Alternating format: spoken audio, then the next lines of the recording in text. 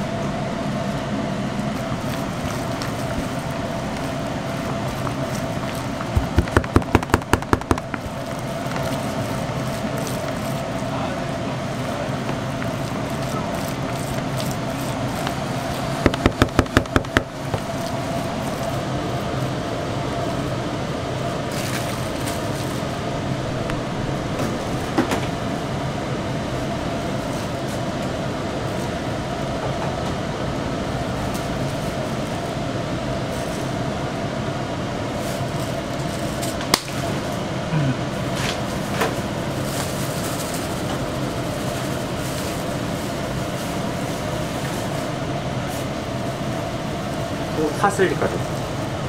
이제 저희가 치즈랑 고구마랑은 모양이 비슷해서 찌개 때 헷갈리거든요. 그래서 고구마는 좀 알아보려고 파슬리가루로